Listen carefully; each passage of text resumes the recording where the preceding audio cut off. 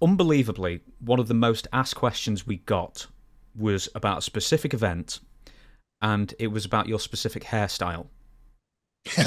so, uh, Breaking in Vain has asked, why was Ax's hair done up so nice at Survivor Series 1990? You know, that hit the, what is it, Instagram and Twitter and all that. The other, yeah. And my, and my, and my daughter even notified, she's dad, there's something all over the, all over the internet about your hair. That was my last night with the office. I gave him my notice. I picked up my papers.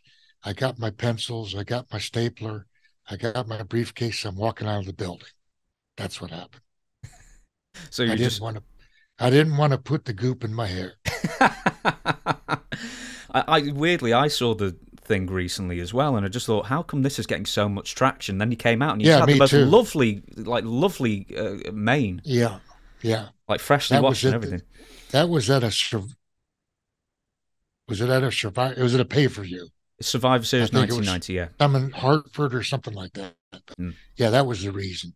That was my little. uh And I, it, it, it's funny that so many years later, the people got the they got the notice, they got the notification that I left on the desk. Mm. But it, I, that was my notice. Hey, I'm leaving the office today.